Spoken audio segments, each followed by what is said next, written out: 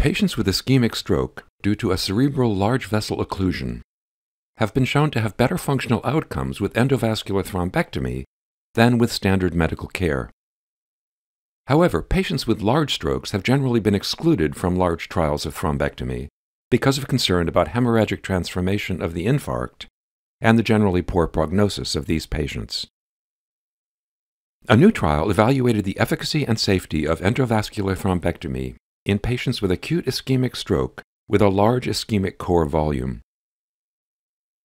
In this Phase 3 international randomized open label trial, 352 adults with acute ischemic stroke due to a proximal large vessel occlusion and with a large ischemic core volume, as measured by one of three imaging methods, were assigned to undergo thrombectomy within 24 hours plus standard medical care, or to receive standard medical care alone.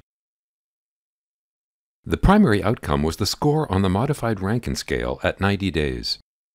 Scores range from 0 to 6, with higher scores indicating greater disability. The median score on the modified Rankin scale was 4 in the thrombectomy group and 5 in the medical care group, with thrombectomy demonstrating superiority over medical care alone. Secondary outcomes generally supported the primary outcome results, including functional independence at 90 days. The incidence of intracranial hemorrhage was similar in the two groups, as was the mortality rate. However, 18% of the thrombectomy group had procedural complications, including dissection, vessel perforation, and vasospasm.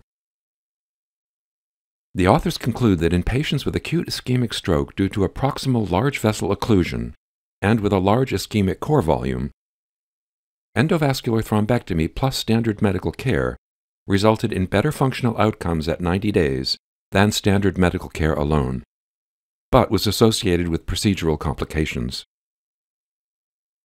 Full trial results are available at nejm.org.